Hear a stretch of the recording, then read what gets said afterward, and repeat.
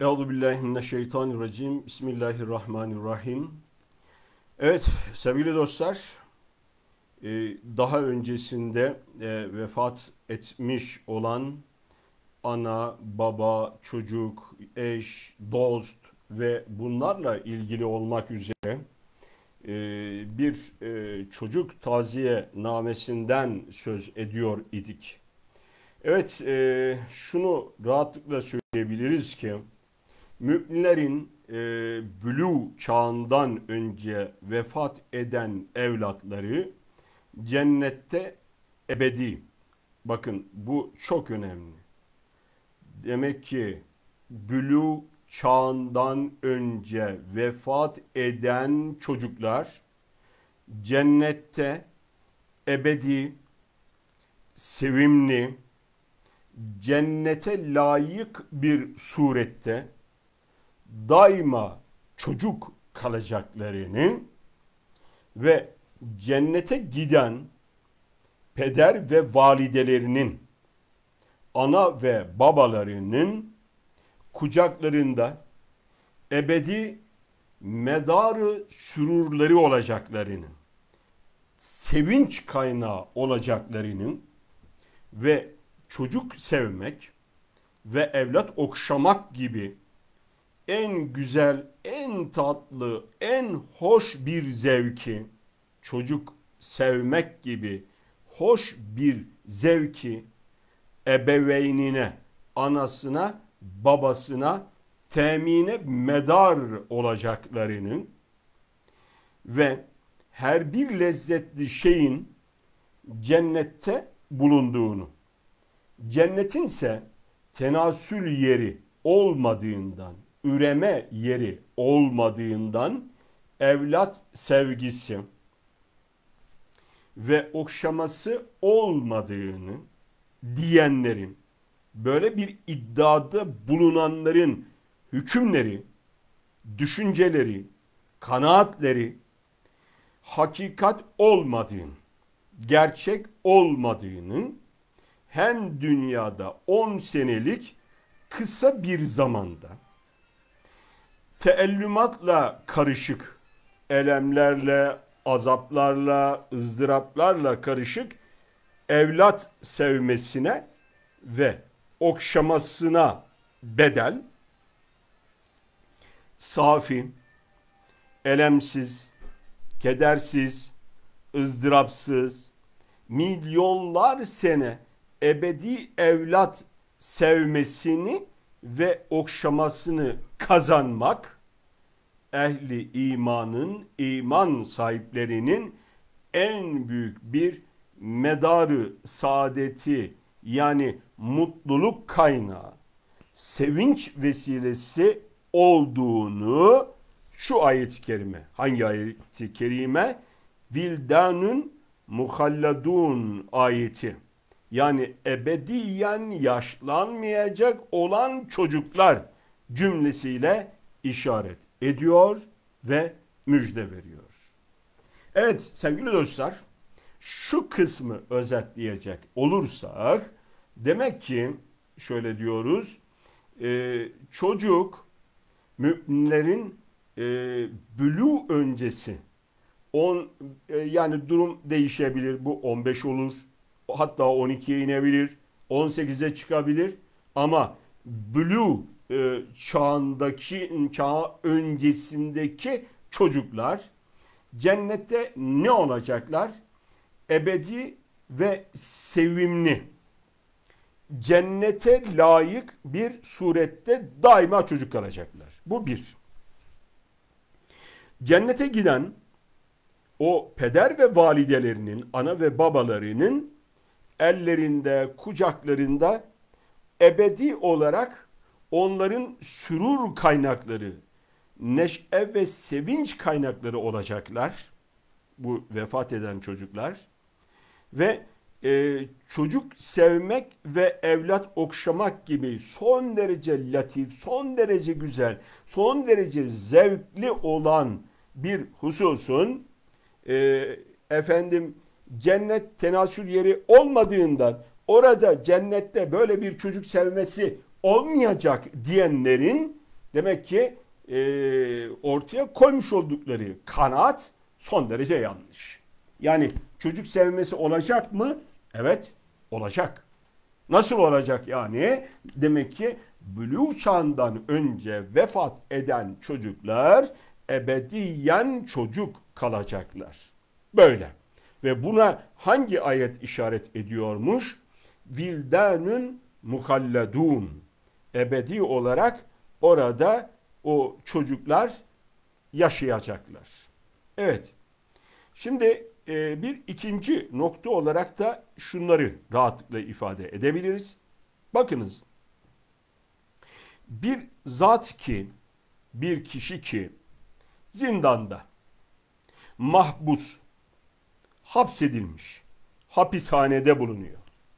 Sonra e, sevimli bir çocuk, çocuğu, kendi çocuğu yanına gönderiliyor. Nereye? Hapishaneye. O bir çare mahbus şimdi hem kendi elemini çekiyor hapishanede hem de çocuğunun istirahatini istediği tarz içerisinde temin edemediği için onun zahmetiyle de böyle bir elem ve ızdırap çekiyor. Yani hem kendi elemi var hem de çocuğundan dolayı onun çekmiş olduğu bir elem, bir ızdırap e, var. Yani sadece kendisini düşünmüyor, çocuğunu da düşünüyor. Ah diyor çocuğum da şöyle yapsak ama yapamıyor. Kısıtlı.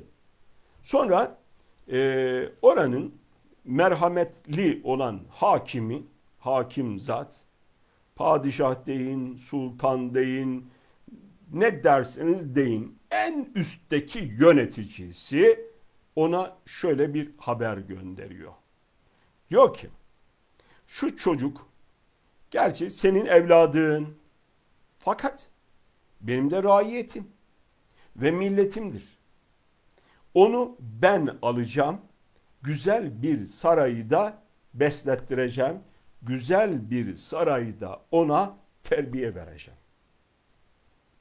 Adam şimdi başlıyor ağlamaya ve sızlamaya. Benim efendim e, medarı tesellim, teselli kaynağım olan evladımı vermeyeceğim. Vermek istemiyorum. Ama ona akıllı olan, onun akıllı olan arkadaşları ise şu tavsiyede bulunuyorlar.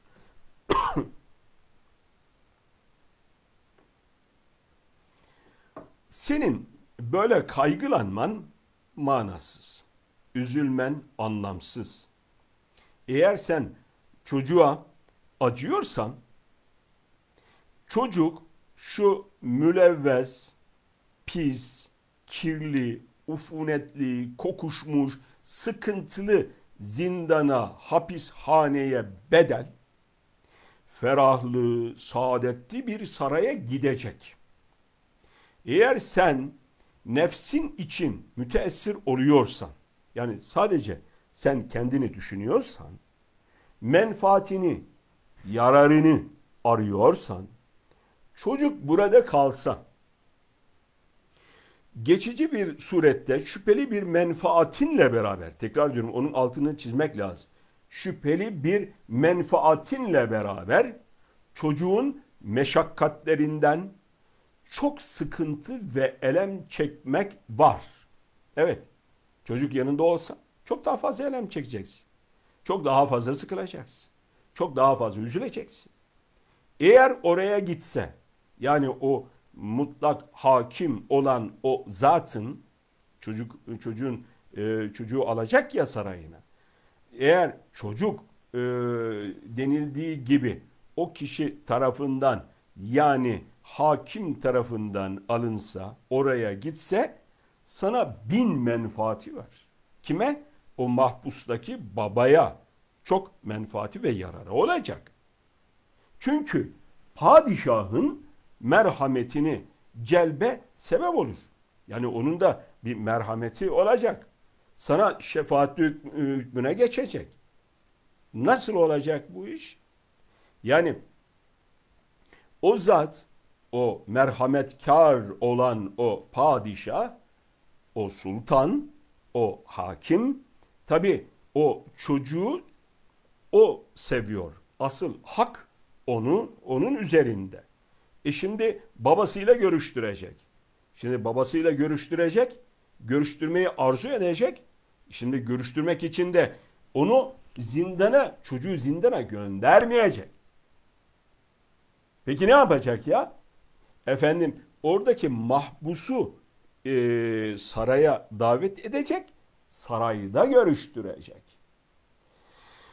Evet, e, bunun da bir şartı var tabi. Onu o sarayda görüştürmenin de bir şartı var. Eğer kişinin padişaha emniyeti varsa, itaati varsa, inancı varsa o zaman onları buluşturacak. Şimdi bakınız e, sevgili dostlar şöyle diyelim.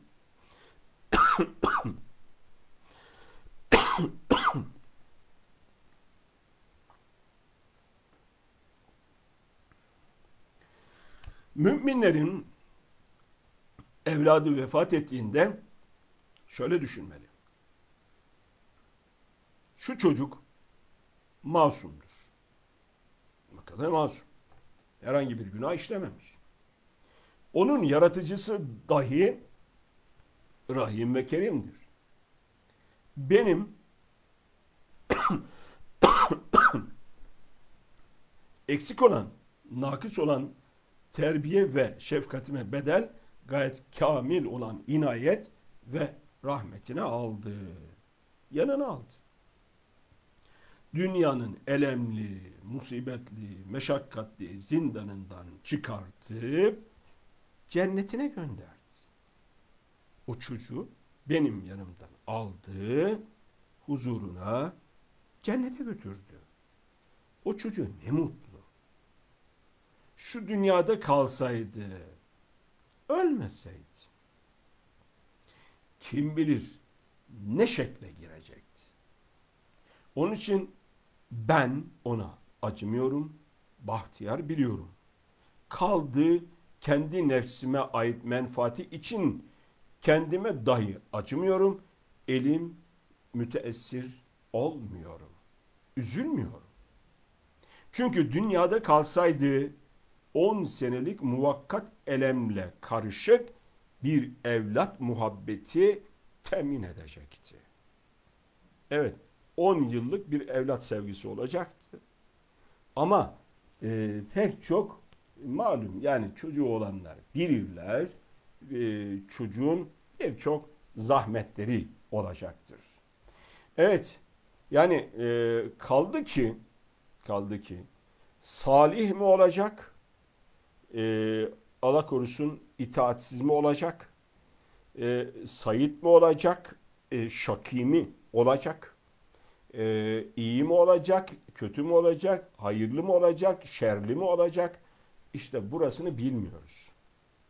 Yani e, Hızır aleyhisselamla Hazreti Musa'nın mı? O bir vakası vardır, bir gezintileri vardır hatırlarsanız. Orada o bir çocuktan e, söz edilir. İleride o çocuk itaatsiz olacaktı. Babasına şöyle şöyle şöyle e, bir takım yanlışları olacaktı denilir. E şimdi e, o vefat eden çocuk açısından düşünüyoruz. Yani e, Aa bizim de çocuğumuz vefat etsin e, biz de böyle olalım haşa demiyoruz. Biz vakanın üzerinden kazanın üzerinden gidiyoruz. Öyle yol alıyoruz.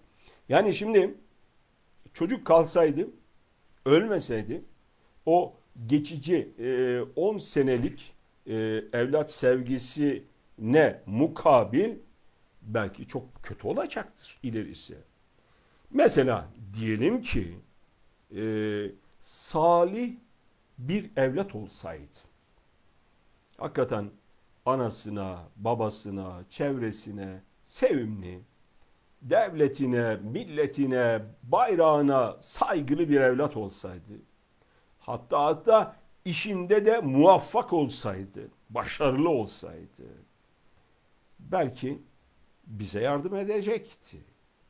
Fakat vefatıyla ebedi cennette 10 milyon sene bize evlat muhabbetine medar ve ebedi saadete vesile bir şefaat hükmüne geçiyor. Evet, kısa, fani, geçici, bekasız, kararsız olan şu dünya hayatına mukabil efendim ebedi olan cennette bize şefaatçi olacak. Çünkü masum, masum bir halde vefat etmiş. İnşallah bizim de inancımızla Rabbime olan itimadımız ve bağlılığımıza o zaman ne olacaktır? İşte o çocuğun da şefaatiyle birlikte inşallah biz de cennetteki yerimizi alacağız. Rabbimin lütfu ve inayetiyle inşallah. Evet, elbette ve elbette şüpheli, geçici bir menfaati kaybeden, muhakkak ve ileride verilecek bin menfaati kazanan kişi üzülmez, teessür etmez. Meyusane feryadu figan etmez. Evet, bu konuyu e, bir e, başka zaman tekrar e, farklı yönleriyle ele alayım, alalım istiyorum. Hepinize hayırlı günler diliyorum. Allah'a emanet olunuz.